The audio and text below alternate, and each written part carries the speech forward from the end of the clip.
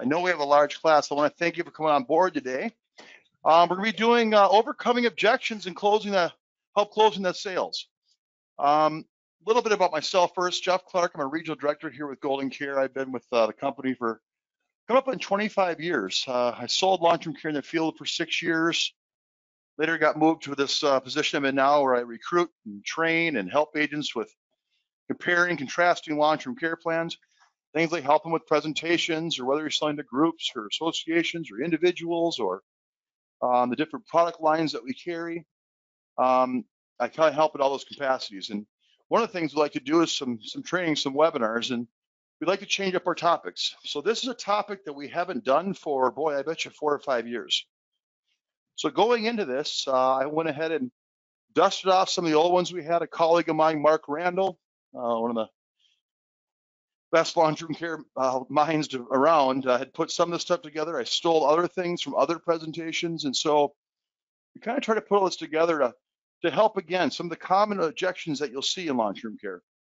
So as I go through this, um, hopefully it touches on some of the main ones. I think we'll add to this. We'll bring this subject up again. But overall, I think it was a it was a necessary thing. We have a lot of agents that struggle with trying to deal with some of the objections they run, some of the pushback they get from their clients. So first of all, though, every time I do a presentation, move forward. Mm -mm. There we go. I'd like to start out with COVID. You know, I, I just every presentation, every webinar I do, I just want to make sure uh, everyone out there is aware of just how much of an issue COVID is and how much it's impacting our industry. You know, if you look around the country, 73% of all the Canadian deaths were in facilities. Um, if you received your care at a facility, you were 11 times more likely to contract and die from COVID. I can keep the rest of these stats up here. 87% of Americans believe it's more important than ever to get long-term care.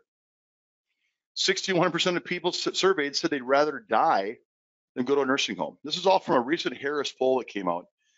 The Fact of the matter is, people are terrified to go to a facility right now. And if you're not aware of that as an agent, you know, I always talk to the agents, you know, when do you bring up long-term care? How do we start that conversation? How do we, I promise you, people out there right now are waiting for someone to ask them about long-term care. It's well received right now. We have online sites that pick up, you know, uh, online referral or, or leads, web-based leads. We've never had more than we have right now. We're getting more leads than we've ever seen. And that just speaks to the fact that people are worried. They're terrified about going to facility. They would love to hear about some options that would give them some maybe home health care options, etc. So if you've if you've been a little apprehensive to bring the subject up, I promise you now is the best time. Clients are waiting to hear from you. There's not enough long-term care agents out there to spread this information with them. So um, if you need any help from us, whatever you might need, take that step. Start talking to your clients about long-term care. Okay, COVID's a big thing. All right, objections. So today's webinar, again, this was just kind of a an idea that we dusted back off, but I want to just start with this. Remember, the responses to a given objection presented today, these are just merely shared opinions from some of the top long-term care salespeople in the nation. No response to an objection is always right. We do welcome your thoughts, your ideas, your suggestions. I know there's 75 people in this webinar today. And so if there's something you feel I badly missed, or you know what, this is what you should say in this situation, I would love to hear it. Anytime we do a presentation, we like hearing from our agents. You know, just because someone's a top salesman or someone maybe only sells a couple a year, if you have a good idea, I would love to share it with people. So, um, but also with objections, you have to have tough skin. Remember, it's our job. This is what we get paid to do.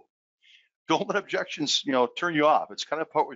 And also remember, that the first objection that anyone gets, these are just merely a smoke objection. You know, it has no bearing on the buyer's decision whatsoever. They're just simply kind of postponing a little bit, posturing. You know, I need to think about it. Oh, I'm not sure. Maybe I should. Eh, this is very common in the buying cycle. So the, the, first objection is really not an objection. It's just kind of a, a normal foreselling that we that all clients do. Okay. Four main reasons people won't buy a product.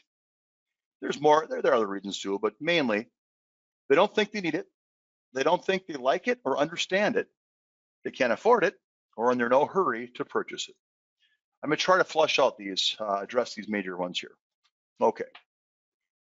This is big. Eliminating objections before they come. So as I go through this presentation, I want to say also that, you know, sometimes I try to have slides that coincide with what we're saying, but a lot of times we're just answering questions that come up. So where I've taken some stuff from other presentations in the past, some stuff about Medicaid spends down or deficit reduction, sometimes we're just going to basically answer these questions and just, you know, talk these through. You will get a copy of this PowerPoint when we're done, so don't worry about taking feverish notes or anything. If you need anything, just give us a call. But you know, three things that just jump out to me as pre kind of ejection, you got to flush these out. During any presentation, you should be able to flush out some of these objections and nip them in the bud as you go along. Call these the pre-decision objection stoppers. Health. You know, I, I, I poked around the internet and, and said, you know, what are the main reasons people don't buy long-term care? What's the biggest objection they have?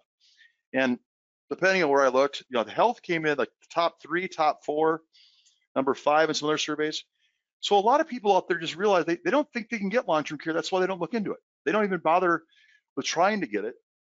But I can tell you that we have plans that will fit no matter what condition you have. If you don't qualify for traditional long-term care, there's short-term care, there's home health care only, there's guaranteed issue home health care plans, you know, True Freedom. We've got hybrids, we've got annuity-based ones, lots of solutions. But do know we have something called the pivot presentation that this presentation basically pivots as you go through talking to your client. It's going to talk about those things to kind of help you flush those health things out. So when you get to the end, we don't have the issue of uh, you're not going to qualify health-wise or underwriting-wise. So this is something that shouldn't be, hold anyone up. We have a plan for any health condition. Kids, extended family member. Um, here's a big one, and I don't really have a lot of slides this, so I'm just going to pause and I'm going to talk a little bit about kids. Um, when I was presenting to folks, you know, early on in my my sales career, I would get nervous when someone said, you know, I, I need to talk to my kids, or uh, my kids really need to talk about it. I need I need to visit with them about this. I my you know my kids are going to take care of me, or so first of all, what I would do is, well, you know, when I first started, I was kind of a, I was afraid of a kid kiboshing a sale. You know, I, I like some kids would say, my mom doesn't need to spend money on this, and and sometimes early on, I would sell a long-term care policy to someone, and I would have a 45-year-old son call me and say, you know, hey, how dare you sell my mother that long-term care policy? I'm going to take care of my mom, and how dare you charge her $200 a month for some long-term care policy when I'm going to take care of her? What I hear that child saying is, I love my mom, and I will take care of her, and I don't need some insurance to be the substitute. But what I also hear that child saying is they don't truly understand what it means to take care of someone. And I can speak from experience here. I took care of my dad for three years, all the way from the home health care to a couple times a week to five times a week to eventually a facility, the, the, all of it. What, what parents need from their kids, it's the time spent with them. I would go over and take care of my dad some days, and I had to you know rush back get to my you know house. Maybe I had I was coaching football then, so I'd I'd have a couple hours here or there to go help him out. So you go over there, maybe you change his bedding, maybe help him uh, with you know bathing or showering. Uh, maybe I had to make him a meal, had to you know do his prescriptions in little pill bottles, the, the, days of the week uh, prescriptions. Um, maybe I had to clean the kitchen. But all this was very just running around doing this, doing that. I'd say, hey, dad, you know, see you later, dad. You know, if you have a long-term care policy, you're not substituting your, your, your child's love. What you're doing is you're allowing that person to to go ahead and maybe the house has already been cleaned. Your dad or mom's already had the bathing, dressing. They've already been fed. They, have had, you know, the, the kitchen's already cleaned up. The bathroom's already cleaned up. What you can do then is go sit alongside your father or mother and talk to them. So that's what they need. That's that's really it's it's it's a it's a hard it's a hard situation when you only have an hour and a half, and when you're changing or helping them get into a different shirt or you're you know, doing this stuff, it, the stress is on both the parent and the child. This is not a very, uh, you know, conducive to healing or, so if I could, if I could have had someone already have, have fed my father, maybe helped him with getting a, a, shower that week, maybe he's already gotten, you know, the food, uh, the bathroom's already cleaned up, his medications are taken care of. I could just go sit with him calmly for an hour and a half. Much better time spent. So when kids tell you they want to take care of their parents, and that's the, my kids will take care of me, just conceptualize it. Are you moving in with your child or your child moving in with you? Are you aware that your kids, your child, your, your adult child is going to have to give up some time with his children? Maybe he is coaching some sports for the kids. Maybe he does have other things. Maybe he can't see his family as much. These are all things that should be discussed. So never be afraid to talk about the kids. And while you're talking about the kids, ask them very sincerely, do your children make the decisions for you? Are you are your, are your kids fully involved or are you able to make your own decisions still? Nine times out of 10, they're going to tell you, no, I make my own decisions. And the reason I'm doing that is because then at the end of the presentation, they're not going to say, you know, let me think, I got to talk to my kids first, right? So flush that out ahead of time. Okay, price. Okay, again, a lot of ways to look at price. I think I got a couple slides on this, but um, stealing from Mark Randall, you know, what he used to say is a little differently than this, but can can you afford 20 bucks a month, 30 bucks a month for this? Sure you can. Can you afford a thousand bucks a month? Maybe not. Would you agree that you could you could afford something in between there? Let's let's throw something at this. Even if you can only afford $50 a month towards a long-term care policy, maybe only 60, 70. But somewhere in there we can find some help for you. Also with price, the shorter, fatter versus longer, skinny. I do have a slide for that. Health. The biggest thing here is note is that we have an entire presentation dedicated. It's called the pivot presentation. It walks you through, it, it literally adjusts on the fly. If they tell you they're diabetic and they've got high blood pressure meds, it's going to take you to short-term care. So you can click buttons as you go through it, as you ask pointed questions. So the health underwriting should never be an issue for you. We've got a tool for this. My kids will take care of me. I just kind of beat that one to death. But the kids are a big part of this. Don't shy away from it. Address those kids and what they're what your family is deciding to do head on. Ask again, are your kids planning on moving in with you? Are you going to move in with your children? Well, my child lives in Tennessee, so maybe not. So how is that going to work exactly? Does your does your, your children have full-time jobs? Do they do they do they coach? Do they do they volunteer in the community? Are they active at church? how are they going to again give up all these things in their life to spend the 20 hours a week that you'll require? I don't mind hitting people right over the head with this. Talk about the kids, flush that stuff out. Price. Again, you can design something that's 50 bucks a month or $500 a month. Somewhere in between there, something, some coverage is better than nothing. Okay, and on price, I have a couple things here. We do a presentation on this it's called Designing Affordable LTC Plans. It's a it's probably in our library at goldencareagent.com, a pre-recorded webinar uh, solely on designing more affordable plans. I can tell you real quick, I've been teaching this for 10 years. Long, skinny versus short and fat. Um, you take a look what I've done here, and we're happy to help you with price. Price is a big issue. And, and sometimes what I see agents do is they look at the local area. Maybe they're selling in, I don't know, let's just Boston, Massachusetts. And they look at the local care and the nursing homes start at 7,500 a month there. Um, so they'll write a $7,500 a month benefit. They'll write a four or five year or $200,000 pot of money. They'll put 3% inflation on that. This is for a 60 year old couple and that premium's 11 grand. I think the example, yeah, we're using here is a 60 year old couple, um, married couple, and we're doing a five year benefit um, a pot of money of $270,000. Now, again, if you design it with a 5% compound, a uh, five-year benefit, which is $270,000, 4,500 a month times five years is 270, and you put 5% on there, that premium's 4,800, 11,488. If I do that same benefit and I move that benefit up to 7,500 a month, I drop it to 3% compound, at 7,500, a three-year benefit, that's still a, a policy maximum of $270,000. But if I go even more extreme than that, I'm going to go with a $10,000 a month benefit and do 1% compound. That's still a 2.1 year benefit. It still gives me a $270,000 pot of money. But look how the premiums are different. Instead of being $11,400 annually, I knocked that all the way down to 5,800. And look at the benefits. This is for a 60 year old couple. Average claims happen at age 80. So now 4,500, 10 years is paying 73, 20 years is paying 11,900 a month. The second example, 75, 10, and 13. The third example, 10, 11, and 12. So basically in 20 years, These things are all paying about the same amount. But look at the premium, half of that. So we can help you design cheaper, more affordable plans. And secondly, a lot of people are going to talk price. And so many of the clients feel that same way about it. I can't afford this $200, $300 a month premium. Well, what if they all of a sudden needed to have to budget five or 6,000 a month? Then, then where are you at? Right? So can you afford to budget $300 a month in now or 5,000 a month when you're not expecting it?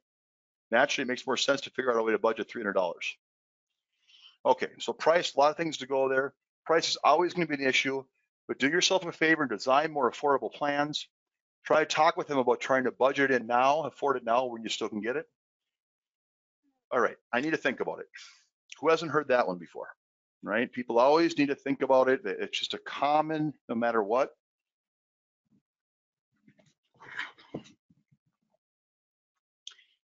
Um, I don't know. Some people say no matter what, they had to think about it overnight. I don't know what you do with that. I guess I've just kind of given up on those. But here's a couple ideas I've heard, shared, etc. Um, I'd like to call it the working period or the. We need to find out if you even qualify. You know, I used to. Yeah, okay, that's true. I, I used to tell people, you know, look, I understand that you want to think about this. I, I would too. It's a big decision. So maybe it's I don't know. Maybe it's Septemberish or so October and say, here's the deal. Why don't we do this? I know you want to think about it. We don't know anything about your health right now. We don't know about your rating. I don't know if you can get long-term care. So, you know, do me a favor. Let's send an application in. We don't have to tie any money into it yet. We can just send an application in here, find out if you're going to qualify. Because this day and age, trust me, half the people that submit can't get it. So I don't want you beating yourself up on a decision for that month or two when you don't know if you can get this or not. Let's see if you're even um, someone who's insurable, right? And that way we can lock into yourself.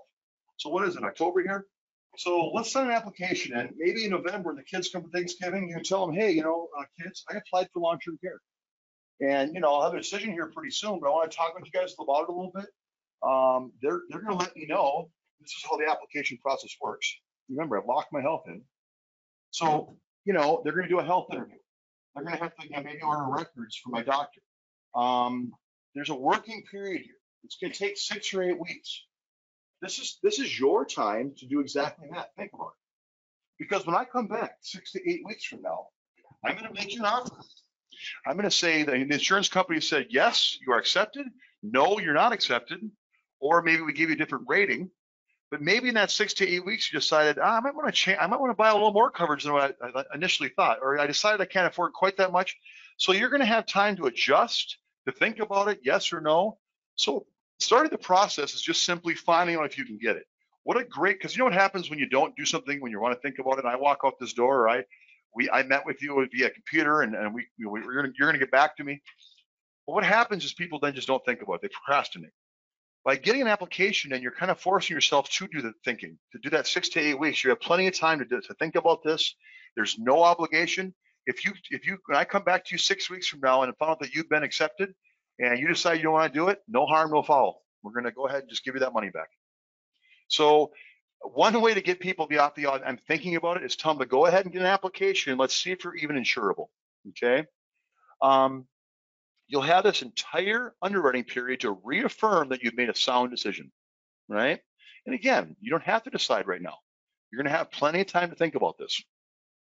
Um, just some other cleanup thoughts here. You know, when people are making a decision, and this is just common, when you're sitting down with an agent via over the computer or what have you, you have 100% information in front of you right now. Plus, you can ask questions. By tomorrow, you'll have forgotten 50% of what you're looking at right now. The next day, you'll have forgotten 25% more. You'll have 25% of the information to make a decision on. Now, if I'm making any major decision, I want to have 100% of the information with me. I wouldn't want to rely on 25% two days or later. So you're way better off making a decision right now than you are next week, or, or I'll call you in a, in a, couple weeks. Um, this again, this is another another version of thing I came across. So when this this the client says, you know, I'll call you in a couple days if I decide to apply. Now, actually, I kind of there's a little bit of myself in here uh, and I guess maybe I did. Yeah, I, I would do the, the takeaway here. Listen, I know for experience that once we stop talking and you don't start this process, there is little to no chance that we will ever get together again and we'll do the application. So, well, can you call me back next week? Frankly, no. I, I don't really have the time to go through all of this and review all this with you again. I've got a pretty busy schedule, and I know that you're thinking about this, but if you're not going to do this now, I don't know what's what three or four days or a week's going to do for you. But if you do change your mind, you know, give me a call. If you're ready to put an application in, I'm happy to help you. So with all due respect, I'm, I don't have time to call you back. I don't want to, you know, pester you about this. When you're ready to apply, go ahead and give me a call. Sounds a little harsh, but it's reality. I know that if they don't apply right now, I'm just not, it's not going to happen. Don't set yourself up for a bunch of callbacks. I remember I used to have like a whole book full of people that said, call me in a couple weeks. I finally kind of figured it out. Yeah, that just means they don't want to buy. So either you go ahead and move forward while you're there, while you have all information there, or they're just not going to buy it from you. Don't waste your time. Tell them that if they want you, call you. Call you back if you want to. I'm not going to call you back next week. I'm not going to call you in two weeks. I'm not going to, you know, beg you to do this. This is the time to do it. So if you want to, we'll be happy. If you want to do it later, you know, give me a call. We'll apply. Okay. So as far as the want to think about it, another way to look at this, um, there's three questions a consumer should ask yourself. Do I need this product? Do I like this product? Can I afford this product? If the answer is yes to all these, then then what do we have to think about, right? You do like the product, you agree you need it. Um, you clearly see there's a need for it, and yes, you can afford it. So why not go ahead and move forward? Those are a lot of things I gave you there for I want to think about it. I hope you some of those kind of jog something for you. All right. The next couple of, oh, these are again, these are the think about it ones. This is at the end of my pre presentation. I talk about that working period. That was my biggest one. Is I said, look, you know, don't beat yourself up thinking about this. Send an application. Call your kids tomorrow. Tell them, hey, I, I sent an application. You're going to have six or eight weeks. I'll come back and we'll talk about this again. I'll call you back when we get a decision. And if you tell me don't, so that that's really my my opinion. That's the best one. You get the process started, and then you have six or eight weeks to think about it. Okay. So again, the, the health, the kids, the thinking about it, the price. These are the all things that you should be doing while you're presenting the long-term care plan. But then you get done, and then you'll get some pushback. All right. So I want to go over some of the, you know, some of these post-presentation objections you're going to run into. Um, by the way, it's 225, and I know that I have four or five more here left. I, I kind of thought this would be closer to a 40-minute presentation. So for those of you, I think the schedule was 2 to 2.30, and I, I meant to tell Linda probably add a little bit to that. But I'm just going to keep going here, and we'll, we'll try to wrap up. And I'll do I'll open up the questions at the end here that you type in. All right, so these are some of the most common post-presentation ones. Use it or lose it. All right. And I tell you what, that that's the big one. You know, what what if I, you know, uh, what if I die in my my car? Looks like it's not care insurance. It is. Oh, oops. Car insurance. This is supposed to be right here. Looks like I can't edit right now. Um, so use it or lose it. The first thing I ask people is, you know, when you get a car insurance, if you don't get an accident in a year, do they give you your money back? How about your homeowners? If a tornado doesn't take out your house, do they give you that money back? How about dental? A lot of people didn't go to dentist for a year because of COVID. They were afraid to go to. Do they give your dental insurance premiums back if you don't have any cavities? They don't, right? So there's just I don't know why people have to, you know, use it or lose it. It's what it's what insurance is. But we do have these things that at this day and age we can. Um, we can get your money back, and it's a hybrid. But first of all, look at your car insurance, your home insurance, etc. Look at your odds when I look at insurance, I think about insurance. I think about, you know, what are my chances of me using this insurance? Um, you know, and there's, I want to insure things that are really likely to happen. And the things that are really a long shot, I, I maybe don't emphasize that. The funny thing is, the consumers out there are kind of backwards in this respect. Everyone has home insurance. You're usually required to if you have a mortgage, but the point is that you have a one in 1200 shot if you look at the dot here, one in 1,200 shot of having your house burned down or tornado. Now, how about um, your auto being totaled for you know a loss that you didn't have insurance and you lost more than ten thousand dollars of a car accident? That's five in 1,200. But everyone has car insurance. Even if your car is paid off, you still do it. People don't carry liability when they have a $40,000 car. They have car insurance. Odds of being hospitalized without health insurance for a $10,000 hit or more, your odds here, 105 out of 1,200. A lot more little red dots there, right? odds of needing long-term care, take a look at that. I never like to tell people if you need this insurance, if you need long-term care, if you end up in an assisted living facility or needing home care. When I talk to a married couple, I know that a married couple has a 90% chance of one of them needing some type of care. So I always said, when you need care, how are you paying out? When you do need this care, what's your plan for paying for it? When you need care, your kid's moving in. I never said if. Fact of the matter is, this is going to happen to you. It's by far the most likely thing to happen to you. So if you're worried about the insurance part of it, the user lose it, you're going to likely use this insurance. That's just the fact of the matter. The industry, however, has come back for this. They have a, a big solution for use it or lose it. It's called these hybrids, right? The LTC life combo products. You know, if I die in my sleep, I don't need it, I get a life benefit. Otherwise, if I do need long-term care, you know, nursing home, I can use my death benefit in the form of, of nursing home benefits. Neat concept. They're commonly known as hybrids please, please, please, you can do so much better for your clients than selling them a hybrid. Okay. And I have an entire PowerPoint to this concept, but just to give you an example, uh, this is a, I just pulled this out of my hybrid. This is Nationwide. So if someone wanted to get a $185,000 death benefit, which equates to a 5,000 a month long-term care benefit, 3% compound, 120,000 death benefit. So I die in my sleep, I never use it, I get $120,000 back. If I need long-term care, I have up to 185. The premium for that for a 55 and 50 year old couple, $9,000. Okay. Because they're worried about getting their money back. So down here, what I did is I ran a traditional Mutual Omaha long-term care plan for $4,700. Then I added a second to die life. That's going to refund them $120,000 upon the second one's death. That's only 1,232. My total there, 59. Here's a neat thing. I'm guaranteeing them a long-term care benefit of $300,000 and 9,000 come claim time. I'm guaranteeing them a death benefit, regardless if they use long-term care or not. So I'm giving them both benefits for half the premium or you know 40% less. And if you both want to get a 120k death benefit, so you actually make money on this, you get all your premiums back, well then you could do some type of an IUL here and give them each a death benefit on either one of their debt. Either way, you're still way under. So you look at the translation here. So for nine thousand dollars, I get twelve thousand a month for a four hundred forty-nine thousand dollar pot of money, or a death benefit of two forty. You don't get both. For half the premium, I get both benefits, right? So hybrids, twice the premium, half the benefit. Do not sell your clients hybrids. Very rare situations, or maybe they have money sitting around. So they use it or lose it. First of all, I think they're going to use the insurance, but if they really are bent about getting their money back, sell them a little second to die life or a index UL. Um, they come out way ahead than mix them together. Don't don't don't combo the plans together. Uh, by the way, Mutual Omaha has the option in their their their uh, product that you can get three times your monthly benefit um, back, uh, your premiums back. So if I go with a 10,000 a month benefit, an example I showed you earlier, that means that each husband and wife are going to get $30,000 back if they die in their sleep, don't, you know, don't, don't need the benefits.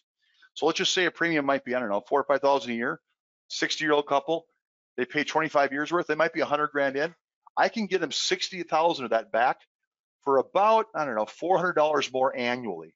Instead of going from 5,000 up to 9,000, I can add $400 onto that, so 5,400, and give them 60% of their premium back if they're worried about use or lose it. Lots of ways to do it. Don't sell a hybrid. Okay. Rate stability. A lot of people say, you know, I, am going to buy this and then they're going to raise my rates, raise my rates. And what if I can't afford it anymore and I have to drop it? Legitimate concern. I get it. Um, the industry has had rate increases. But I can tell you this the industry has grown, the industry has gotten smarter. So if you look at the way the um, traditional long-term care policies are priced now, modern policies are much more price stable than ever before, the previous generations of them. Why is that? Well, frankly, it's because they've got so much more claims data to go on. The Society of Actuaries pricing study now shows that the underlying actuarial pricing assumptions has been de-risked. Lapse rates are now set at less than 1%. Originally, they were set at like, you know, 5%. Uh, investment returns, they're now set lower than ever. They use such conservative investment returns and interest rates now. Claim rates, they have a lot more to go on. They have 16 times more policy data and 70 times more claims data compared to 15 years ago. The regulatory requirements, consumer value, company penalties, margin for error, all this stuff, the industry has grown. So, and this all comes from, by the way, Too Legit to Quit. Great article if you haven't. It's in Brokers World magazine. Outstanding stuff that more or less says, based on 2014, the Society of Actuaries gives long-term care premiums less than a 10% chance of even raising 10% in their lifetime now. And by the way, that was 2014. The newer one out, I think it was 5% and 5%. Fact of the matter is, is these are very stable now. And so the old rate increases of the old people that bought it 20 years ago, that, that's just that's just how it was. Um, we can't do anything about that. And it does scare some of the people. Some of the financial planners and some of the uh, people out there in the street will say, yeah, but they're going to raise your rates. You know, look what Hancock and Genworth did. Hancock and Genworth did anything wrong. They just didn't have good data to go on. They've had to fix that, but the industry has cleaned it up. So if people are worried about rate increases, we can get you this information. That's something you should be able to walk them through. Okay. How about if I wait till I'm older? Yeah, you ever heard that one? Uh, I had a colleague of mine say that, you know, even Dave Ramsey, which I like, you know, Dave Ramsey has so much good stuff. He suggests that you wait off a little bit of time until you, you know, the more you wait, you know, you, you won't spend as much money and can't believe that he advises that, but let's take a look at it. I did a couple slides here. The cost of waiting is huge in so many ways. First of all, this is something I just ran here. So let's just say a 55 year old couple, um, and I just did a small benefit here, 4,000 a month benefit, $100,000 pot of money, 3% compound 90 LM down here. All right, so I took this couple and I said if they pay these premiums all the way till they're 85 years old, they're going to pay in a total of 105,560. The male 41,000, female 64,000. Okay. So what if I waited till I was 65 to buy that policy? Well, first of all, we have to factor in that 10 years of growth that the 55 year old would have had. So that 55 year old couple's benefits, if I waited for 10 years, then applied, it would have grown to 5,376 a month, and the pot of money would be at 134,392. Use the same 3% 90 day elimination period. Now they're 65. So I ran the rates of the newer amounts. That premium now for them um, was, I have it in here, $6,861. So if they paid that 6861 for 20 years till they're 85, they would have paid 137,220. So it's going to cost them about $32,000 more by waiting for 10 years. And by the way, if I waited till age 70, it was like 160,000. It, it just went up from there. There is no upside as far as premium savings to wait. But interestingly here, I kind of saw this in the break-even analysis I ran. This was interesting. I hadn't really seen this before, but I thought I'd share this with you. The break-even point for age 55. So for a male, 129 days of care, you get all your money back. He's paid in 41,000. The female, of course, the females are more expensive, 198 days.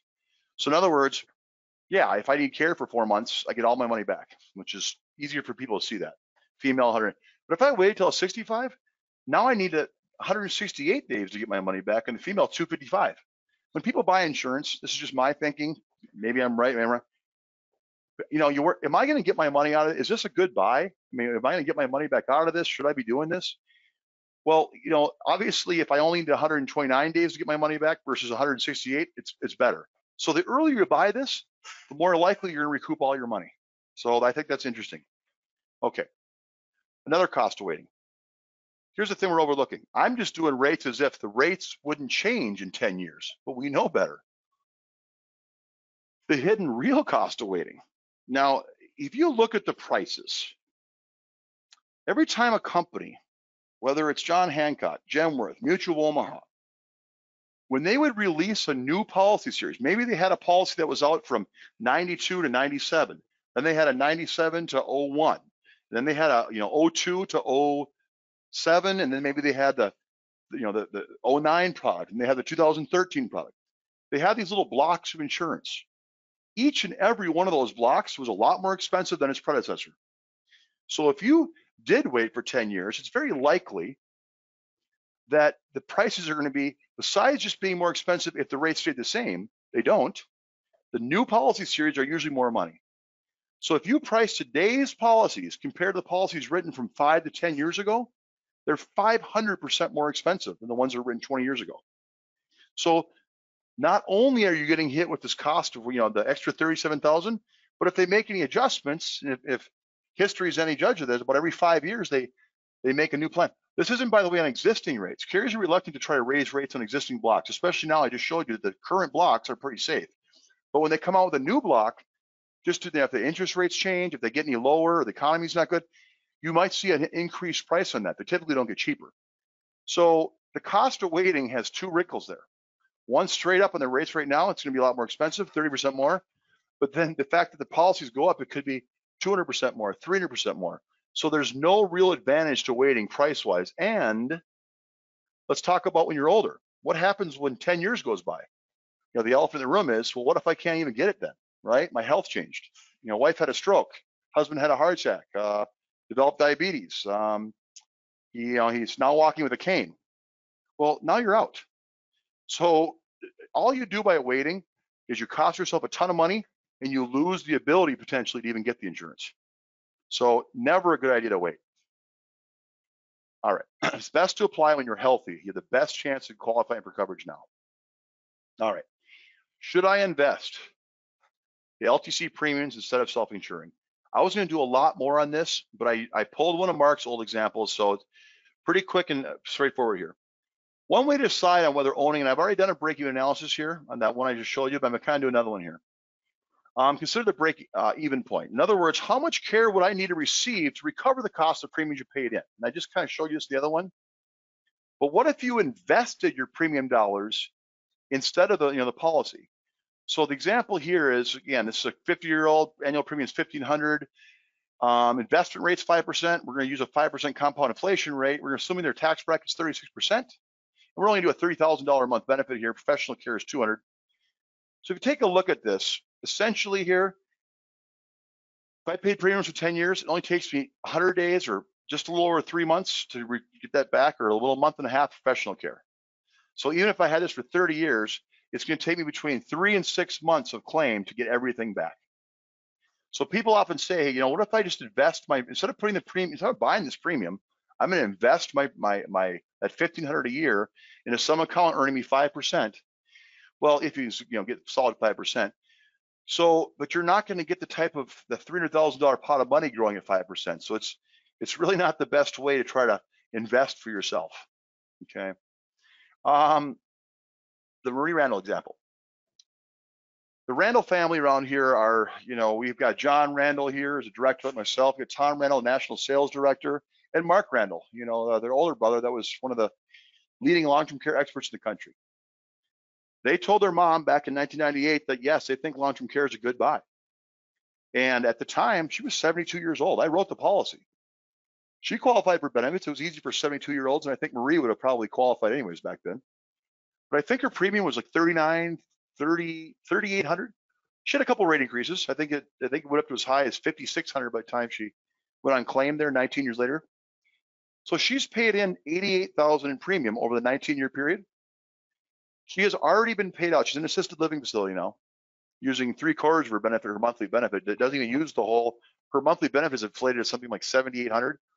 I think it's about 63 is what the assisted living is charging. So she's got an unlimited policy. She's already been paid out 165,000. It's almost 7,000 a month. She's doubled her money, and, and knowing Marie, she's going to live for you know a good while yet. Um, she's going to make a, it's going to come out very well here. So sometimes it's nice to see an actual example. I do believe in long-term care. I still do, even the way it's priced now. So you know, as far as trying to self-insure, invest it yourself, there's no better way to cover the long-term care risk than to buy a long-term care policy. All right, the government will take care of me. I got a couple more here. Look, it's 242. Um, now here's one again. I'm going to kind of go through this quick because we have what's called a a Medicare spend down calculator for each and every state. It's in our LTC CEO tool. So I'm going to fast track here because the argument is the government will take care of me. And so we talk about Medicaid, right? And I, I don't want to bore you guys because this is kind of, I'll get you a copy of this. But essentially, if you know how Medicaid works, if you're a single person, you get spent down to $3,000. If you're a married person, you can keep half the assets up to a certain amount. You can keep the house while you're alive, and then the state's going to step in and recoup that. Um, so if a spouse is living in your house, or even if a, a dependent child, or even a, you know a, a, child that's living with you, they can't take the house until the that parent dies, and then they come back and they can attach the Medicaid value to it, even if that spouse is there upon the second spouse's death or the dependent child that's living there. As soon as that person moves out, the state steps in to inherit that house.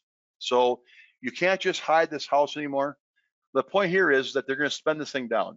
So if they decide to self-insure, and again, I'm not going to bore you with all these slides here. This is a Minnesota example, 2015. It just it, now, and I have this available for any state. If you want to put in the assets, you know, their house is worth X amount. They have this much in total. House is 300,000. Total um, countable assets 350. If they split those assets in half, um, then it's income related. And so we have a spend down calculator to tell people how much will it cost you if you don't buy a long-term care plan. So even if one spouse goes in the, in the, in the facility or both end up in the facility, it'll show you kind of what your income's left over. But here's the thing. It's fun to show the actual numbers, but I don't do that when I'm objection stopping. Um, you know, you're going to lose all of it or half of it, and the state's going to step in to, to recoup that. At the end of the day, what you're talking about is you're letting Medicaid take care of you. Um, I'm not sure in this day and age, if you look at where where we're, where the country's headed, you know, we're running out of money. Frankly speaking, we're aging as a society. The the Medicare dollars are getting thin. You know, said another way, when they wrote Medicare, Medicaid, these systems, there was 11 working adults paying in for every one recipient.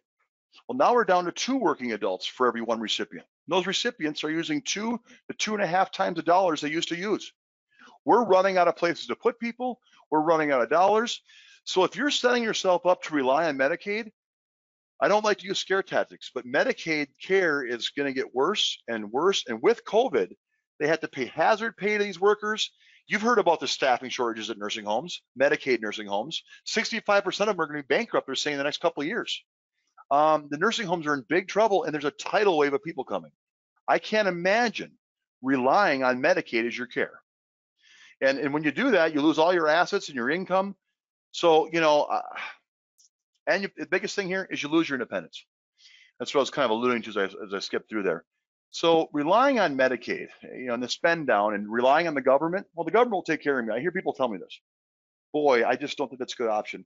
And again, without scaring them, just point out the fact that these are overburdened systems that are running out of money. We're, we're simply running out of able-bodied caregivers to take care of people. We're aging society. We're getting so top heavy that you need to plan for your own care because there's not going to be much help left from the government. Not because the government's a big mean eh, you know, instrument and doesn't like old people. It's because they're simply running out of dollars and resources to take care of these people. You really need to be mindful of that and tell your client it's better to plan. Okay, last one here. I think I got, uh, I got two more. The government will take care of me. Part two.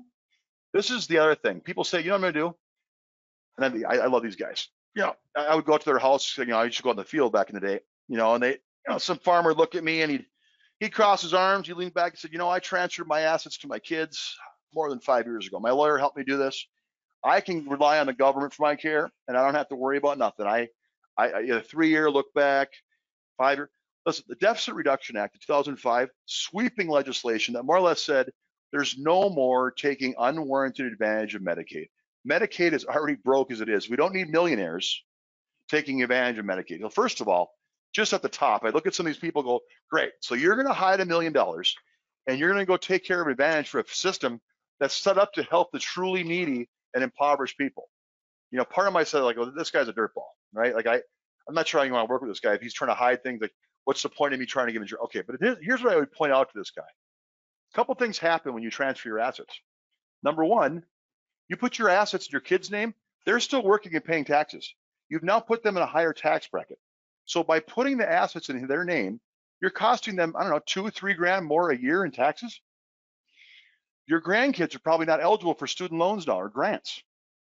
And that daughter-in-law that you never really trusted, when she divorces your son, she's gonna take your farm take your land, take your assets. So you've costed yourself more money than a long-term care policy and via uh, higher taxes for your son when you could have just bought a policy for a couple of grand, taking the tax deductions on that, it would have cost you about a thousand or fifteen hundred dollars, and your whole farm, everything would have been protected, all still in your name, all in your control. And besides that, let's just say that it did work. You were able to, you know, somehow hide your assets and take advantage of Medicaid, basically, you know, steal from the poor. Do you really want that? I just talked about, do you really want Medicaid? you have a million, trust me, you're not going to be very happy with the care you received in Medicaid. So even if you can pull this off, be careful what you wish for. So anyway, the Deficit Reduction Act cleans up a lot of this. They're, they're telling people, I don't care if you transferred your assets five years ago. If you go, if you transferred your assets five years ago, half a million dollars, and you go to a nursing home and you're there for 12 years, you're basically going to be exempt from any help. Let's just say nursing homes are 50,000 a year. The first um, I guess an example, be eight years that you're there, uh, 10 years that you're there, you're, you're not gonna be covered because you're, you're, you're knocking yourself out because you've transferred a $500,000 thing at 50,000 a year. That means you're ineligible for Medicaid help for 10 years. That's what Deficit Reduction Act does. So it doesn't work anymore to transfer assets. It's illegal. There's still lawyers trying to do it. There's still lawyers telling people they'll do it for you, but it really doesn't work. Okay, last thing, the complication factor. People don't buy things they don't understand. I always said during your presentation, you should take care of this, but otherwise, there's really only three things to selling long-term care, folks. These are so easy. All a client has to know is how much will this policy pay me? Whether it's 5,000 a month, 7,000 a month, right? How long will it last? That's a pot of money. If I sold them a quarter million, I could tell them it's gonna last them for three and a half years. If they're getting home care, that could be a little longer because they're only getting care twice a week. The third thing is, when do I start getting it? I tell them, well, as soon as you hit your triggers, your two out of six ADLs, or you become caught, it'll start 90 days later. So if you can get these three things down or communicate these three things to your clients, that's 95% of the policy. The rest of these things are just bells and whistles. There's nothing really to it. So how much, how long, how soon? That's all long-term care policy is. Don't make it any more complicated. You'll, you'll make more sales. Okay, so that's what I have. That's that's version one of this presentation. I'm hoping it's helpful. I'm going to bounce this out of here real quick and see if we have questions. I'm sure we do. I know we're running long right now. Okay, I like. Okay, what I've got here is people are saying, you know what? When I when when I tell the kids, hey, I'm mad that my mom bought this long-term care policy. You have a kid call and say, hey, you're not you're spending my inheritance. That's very true, uh, Don. I, I do see that. People think that, the kids get in their mind that you're you're spending up their inheritance. In reality, you're saving their inheritance, right? Um, will there be a follow-up email on this? Yes. With the slides, yes. Will you distribute the presentation? Yes. Um, what about partnership qualification? Um, for that one, I can tell you I'm not a, I don't care about partnership. You know, uh, that's another whole long answer. Some people buy policies for partnership. I know partnerships are pretty, you know, snowball's chance in heck of being used. That requires someone to actually exhaust their policy, then exhaust all the rest of their assets down to the equal amount that they had in maximum benefits. 90% of claims don't go beyond two or three years. So that 1% of people that actually have a partnership plan that can access it, they still have a half a million dollars sitting in the bank. And if they want to go on partnership, they go on Medicaid, they can forego that half a million dollars and go to some crappy nursing home or facility. Of the of the 1% who can only get to the partnership, less than two out of those 10 people, so two tenths of 1% will actually even use partnership if they have the ability. So the, the chance of using partnership are so slim. It just it's a great thing to get in the house. It's a great thing to excite people about it. But at the end of the day, no one uses partnership. I don't care about designing 3% compound plans. I don't mind using a higher amount with no inflation. Um, all right. All right, then I have another question here about the related 1%. In some places, by the way, 1% inflation does work. 2% inflations do work. You have to check in your stadium for that for partnership. Um, rate stability, we've had many clients talk about the increases from year 17 to 220 depending on the policy you're sold, yeah, rate increases are always going to be an issue. Uh, it's it's all if you go to the internet, you're going to find stuff about it. We can get you the um, broker world information, the Society of Actuary. I again, this is call it my opinion from my reading. The plans are so much safer, so much more stable than they used to be. Um, is there any guarantee? Of course not. I'm never going to guarantee the premiums, but I feel very confident about the plans we sell today. You just don't see the rate increases we had from 10 years ago. Good, short, and fat um, example. Thanks for that. At what age would you recommend someone to sign up for long-term care? That's a good question. You know, I, I don't know if that's if that's the um, I don't know if there's a perfect age, but typically, you know, mid 50s, 57, 58. Um, you know, you never know what's going to happen. Health wise, you could have some issue come up at 57. My my own brother-in-law had a stroke at 56. So, you know, uh, ideally probably mid 50s, uh, latter 50s is probably the best age. Okay, that's all I really have for questions there. There's a couple other ones here that, you know, if you want to give us a call at the office, I suggest you do. Let me minimize this. I want to just thank you guys for coming on board. Our number here, 800-842-7799. If any of you want to call and talk about any of these things further, we'd love to hear your suggestions. You know, on, on this on this objection, this is what I like to say. Um, I would love to hear it. Uh, anything that we could share. This again is meant to be a sharing of ideas from a lot of uh, different salesmen. So I hope this was helpful. I hope that some of you guys got something out of this. Thanks for staying with me. There's still a very large class here, so I hope it wasn't too boring. But if you want this, uh, there'll be a pre-recorded this version sent to your email, but we have pre-recorded versions of all the other presentations we do at goldencareagent.com. Uh, there's a reference library there of all of our marketing tools, all of our products, all the presentations we have.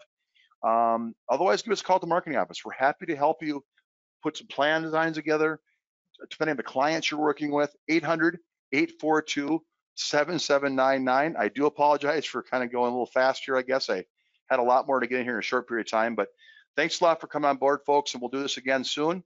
Um, Jeff Clark, again, thank you for coming on board. 800 842 7799 if you need us. Thanks a lot. Check out our website, goldencareagent.com, or give us a call at 800 842 7799.